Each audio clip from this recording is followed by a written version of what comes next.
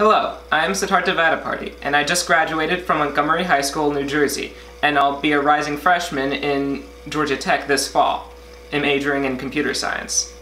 And in the meantime, summer physics experiments. This video will be a continuation of my last video where I discussed the EMF meter, a device that helps with deriving the laws of electromagnetism by quantitatively measuring induced voltage from a magnet in a coil and then publishing that data to the nearest millivolt to a browser where entire classrooms can see the data. Now, before we continue any further, I'll let you go to the description where I have a link to the previous video. I can wait. It's a great video. What are you doing? Watch it. Watch it. This video will focus less on the experiments themselves and more on the advancements I've made since the last video and how to use it in a classroom setting. So that will include how to set up these experimental setups and also how to use the equipment to measure the voltage and perform any of the experiments that I've done in the previous video. This is the advanced EMF meter. Unlike its predecessor, which could only publish its data to the browser, like on Node-RED, which you've seen before, it can also publish the data on a personalized TFT screen, as seen here, where it can publish the same data on a nice time versus voltage graph. Making this simplification was not an easy task.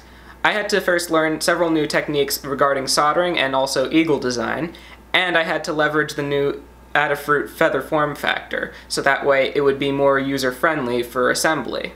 Now, let's take a look under the hood, so to speak, and see what actually makes the EMF meter advanced more advanced. The first thing you're going to see when you open up the EMF meter is a PCB that looks somewhat like this. This is a Featherwing that I custom made to be a board for the ADS1115, which was originally a breakout board produced by Adafruit Industries. This Featherwing is designed so that way you can directly plug it into any other feather or Featherwing like the 32U4 or the ESP8266 Huzzah, so that way you can stack these up into gradually more complex circuits without having to worry about the direct connections themselves.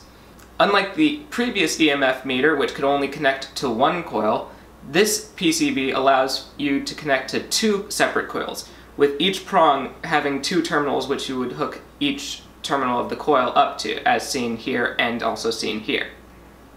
The wireless communication you see happening between the EMF meter and the computer is enabled through two different devices. The first is the Adafruit Feather Huzzah, which is what you'll see when you peel off the ADS1115 Featherwing as seen here.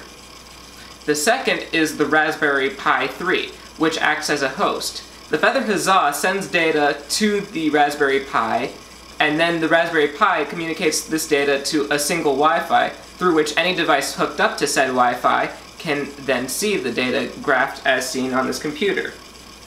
This means if you have a phone hooked up on the same Wi-Fi, you can access it and see it mobilely as well. Once you peel off the Adafruit Feather Huzzah, you'll get the back of the TFT Featherwing, which is the main device that we use to display the voltage versus time graph. Not only did we advance the EMF meter itself, we also advanced the turntable setup that we use so frequently in our experiments. For instance, now, instead of there being a separate joystick contraption away from the main microcontroller, we're using a TFT joystick feather wing, as seen here, to control the entire turntable setup. So for instance, if I push the joystick down like this, I increase the speed, and the motor increases at a proportional rate. And when I pull up, down, like this, it decreases the speed. And I can also alter the direction by pressing side to side. So in this case, it switches direction, and when I push it back this way, it switches back to its original direction.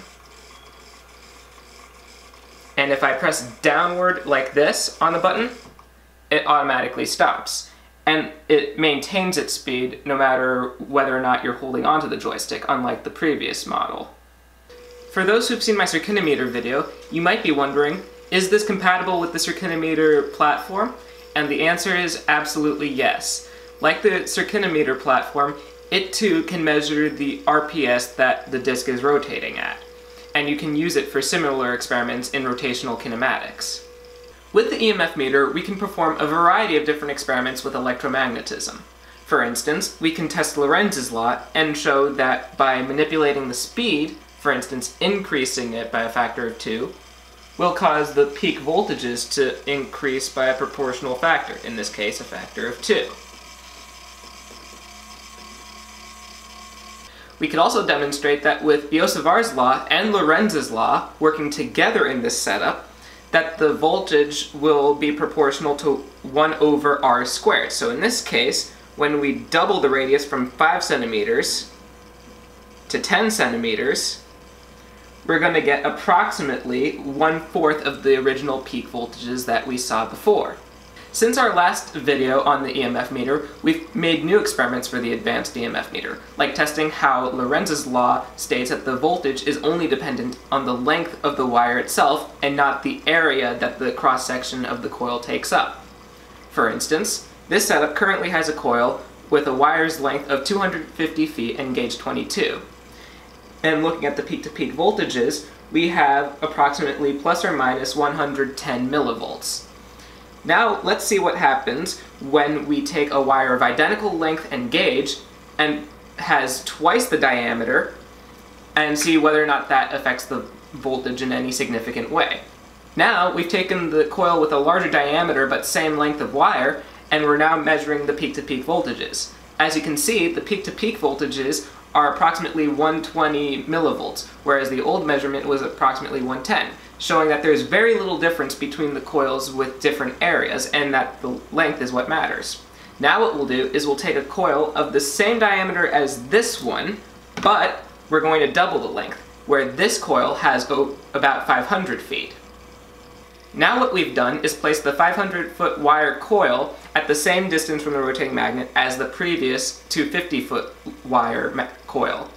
And when we look at the peak-to-peak -peak voltages, what we get are plus and minus 250 millivolts, which is almost exactly double the peak voltages that we've got from the previous coil.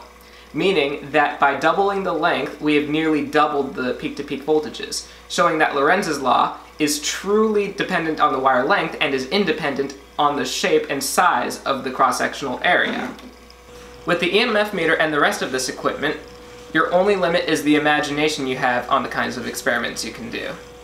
And my goal is to distribute this equipment to the rest of the schools in New Jersey to disrupt physics education regarding electromagnetism. So far, my high school has adopted this equipment into the curriculum and will be using it starting this winter in Montgomery High School. I hope to continue distributing this equipment to schools that require equipment at a low budget and also would like to perform more hands-on experiments.